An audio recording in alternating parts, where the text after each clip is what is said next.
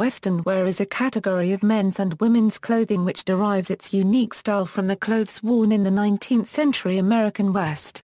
It ranges from accurate historical reproductions of pioneer, mountain man, Civil War, cowboy and vaquero clothing to the stylized garments popularized by singing cowboys such as Gene Autry and Roy Rogers in the 1940s and 50s.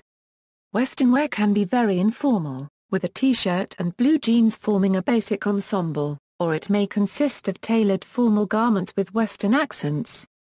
At minimum, Western wear generally incorporates a cowboy hat, a leather belt, and cowboy boots.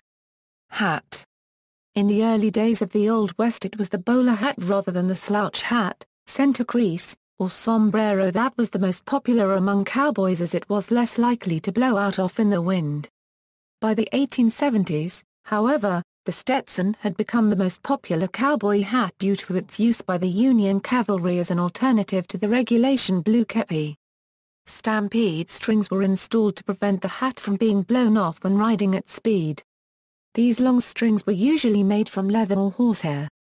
Typically, the string was run halfway around the crown of a cowboy hat, and then through a hole on each side with its ends knotted and then secured under the chin or around the back of the head keeping the hat in place in windy conditions or when riding a horse.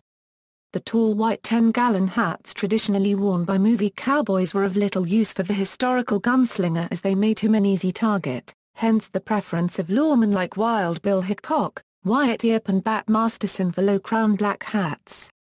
Originally part of the traditional Plains Indian costume, coon skin caps were frequently worn by mountain men like Davy Crockett for their warmth and durability.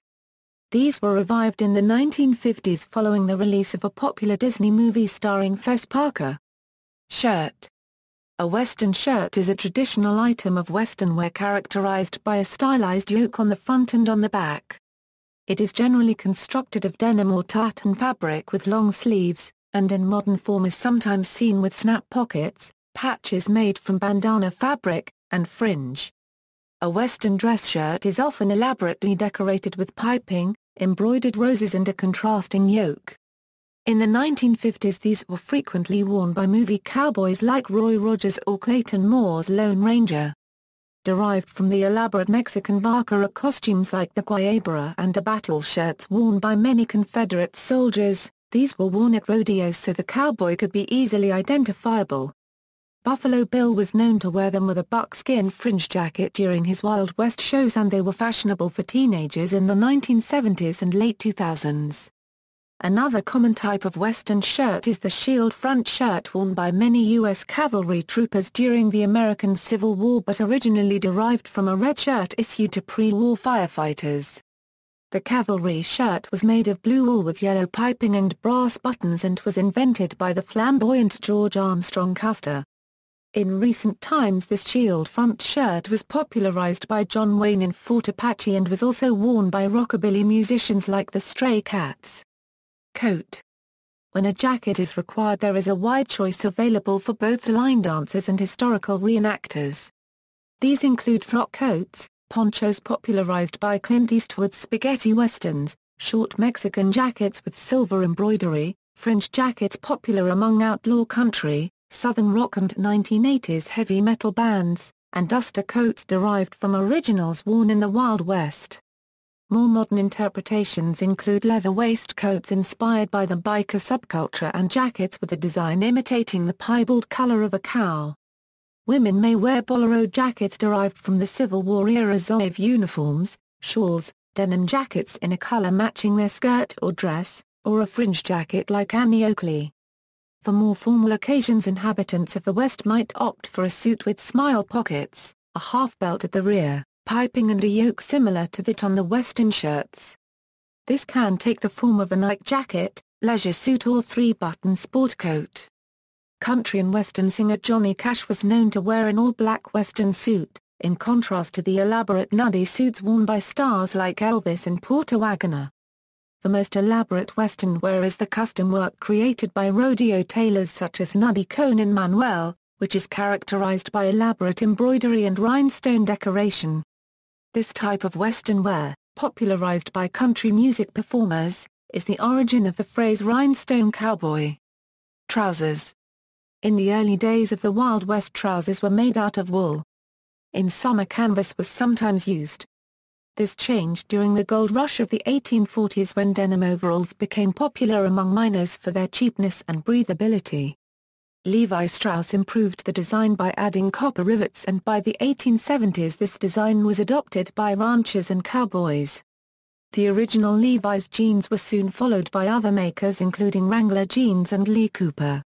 These were frequently accessorized with kepi belts featuring metal conchos and large belt buckles. Leather chaps were often worn to protect the cowboy's legs from cactus spines and prevent the fabric from wearing out. Two common types include the skin-tight shotgun chaps and wide batwing chaps. The latter were sometimes made from hides retaining their hair rather than tanned leather. They appeared on the Great Plains somewhere around 1887. Women wore knee-length prairie skirts, red or blue gingham dresses or suede fringed skirts derived from Native American dress. Saloon girls wore short red dresses with corsets, garter belts and stockings. After World War II, many women, returning to the home after working in the fields or factories while the men were overseas, began to wear jeans like the men. Neckwear During the Victorian era, Gentlemen would wear silk cravats or neckties to add color to their otherwise sober black or gray attire. These continued to be worn by respectable Westerners until the early 20th century. Following the Civil War it became common practice among working-class veterans to loosely tie a bandana around their necks to absorb sweat and keep the dust out of their faces.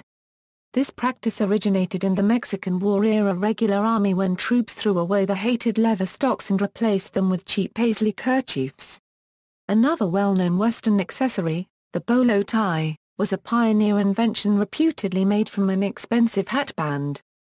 This was a favorite for gamblers and was quickly adopted by Mexican charros, together with the slim Kentucky-style bow tie commonly seen on stereotypical Southern gentlemen like Colonel Sanders or Boss Hogg.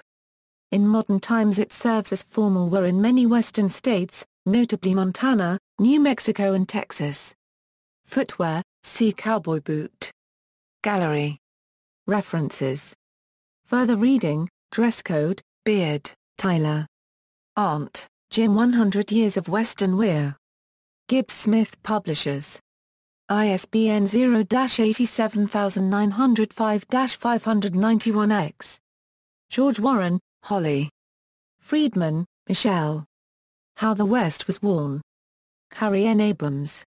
ISBN 0-8109-0615-5.